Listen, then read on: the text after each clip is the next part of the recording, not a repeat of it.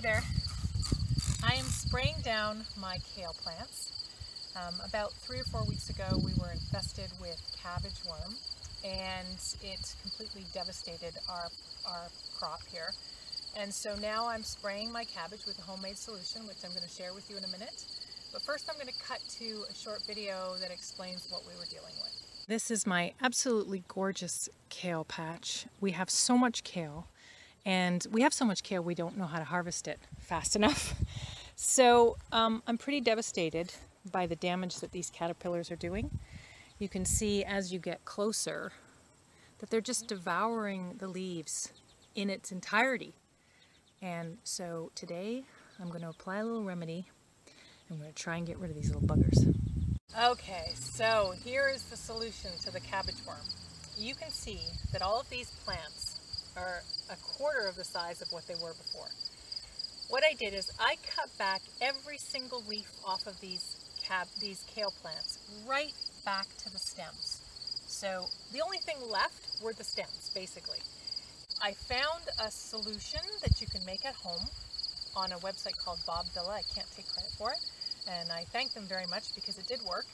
Um, it's one tablespoon of molasses.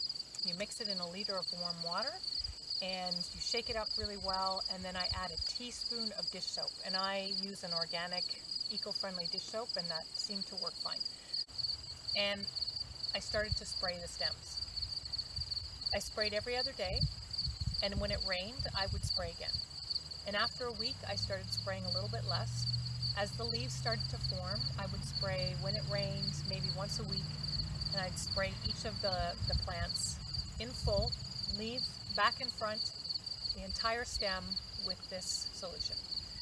And I have no more cabbage worms. I have not seen any worms or eggs on the kale, and that was about three or four weeks ago, and you can see how beautiful these plants are looking. And the one thing that I'm really happy with is that I actually had this problem because now I have all this baby kale.